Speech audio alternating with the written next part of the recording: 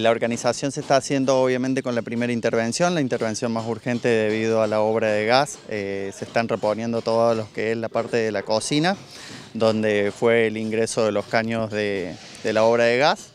Eh, lo que se está haciendo, se está empezando con el bloque número 10, se baja todo el revestimiento de cocina, eh, una vez que bajaron todo el revestimiento de cocina se empiezan a tapar los huecos generados por la misma obra y bueno, se va a reponer cerámicos y todo lo que sea revoque y revoque fino para que quede la cocina bien, bien armadita.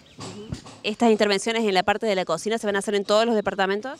Sí, sí, esta primera intervención que es en la cocina se van a hacer en los 104 departamentos. ¿Cómo continúan las intervenciones? ¿Qué plazos estimados hay? El plazo estimado aproximado es de alrededor de cuatro meses para los 104 departamentos.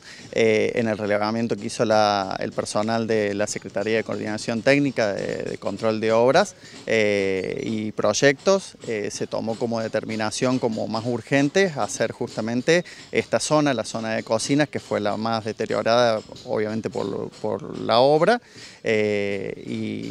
En principio se está haciendo esta parte y después vamos a ir viendo en a continuación con que seguimos.